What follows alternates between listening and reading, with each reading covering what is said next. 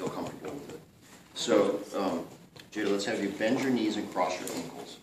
Doesn't matter which ankle is crossed on the top. I get up onto the table, bring the arms down by the side, press the knees into the chest. That lifts her bum off the table. I tuck my feet underneath, and then I rest her ankle bones against my shin bones. Okay, and if I lean in a little bit, it fixes her in place.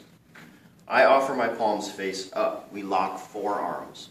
Take a deep breath in. On the exhale, I squat down into chair pose and then pull her up and then lean back and press my shins into hers. Now, if you recall, during this morning's yoga class, I had us practice chair pose. That's what this is.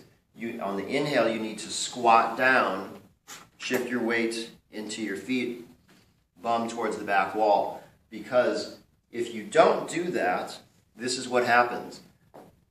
That was the table. Jada, how could you? no, that was that was my foot. So if I don't bend down, then I'm trying to pull her up like this, and it hurts my low back, and I'm just muscling my way in.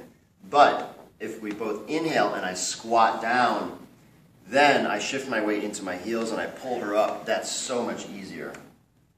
Yum. Restorative pose for me, and then lower her down. Okay? That's the balance pose.